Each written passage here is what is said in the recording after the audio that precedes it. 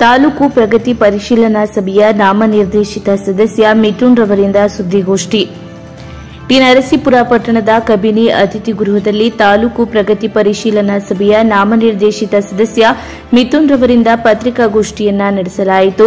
ಸುದ್ದಿಗೋಷ್ಠಿ ಉದ್ದೇಶಿಸಿ ಮಾತನಾಡಿದ ಮಿಥುನ್ ರವರು ಟಿ ನರಸೀಪುರ ತಾಲೂಕಿಗೆ ವರುಣ ವಿಧಾನಸಭಾ ಕ್ಷೇತ್ರದ ಶಾಸಕ ಯತೀಂದ್ರ ಸಿದ್ದರಾಮಯ್ಯ ಮತ್ತು ಟಿ ನರಸೀಪುರ ಮೀಸಲು ವಿಧಾನಸಭಾ ಕ್ಷೇತ್ರದ ಶಾಸಕ ಅಶ್ವಿನ್ ಕುಮಾರ್ ಇಬ್ಬರು ಶಾಸಕರು ಇದ್ದಾರೆ.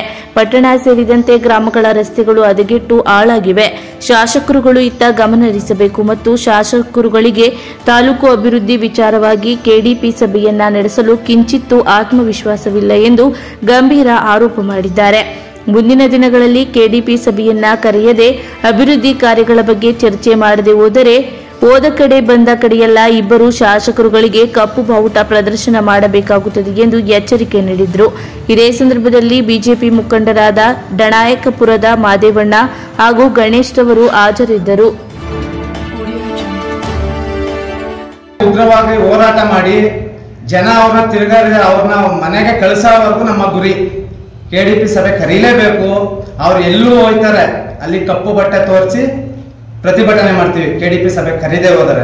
ಹಾಗೂ ಅಶ್ವಿನ್ ಕುಮಾರ್ ಅವರು ದಿನ ಓಡಾಡ್ತಾರೆ. ಇದ್ದಾರೆ ನರಸೀಪುರದಲ್ಲಿ. ಲಿಂಕ್ ರಸ್ತೆ ಆಗಿರ್ಬೋದು. ಪುರಸಭೆಯಲ್ಲಿ ಅಕ್ರಮ ತಾಂಡವಾಡ್ತಾ ಇದೆ.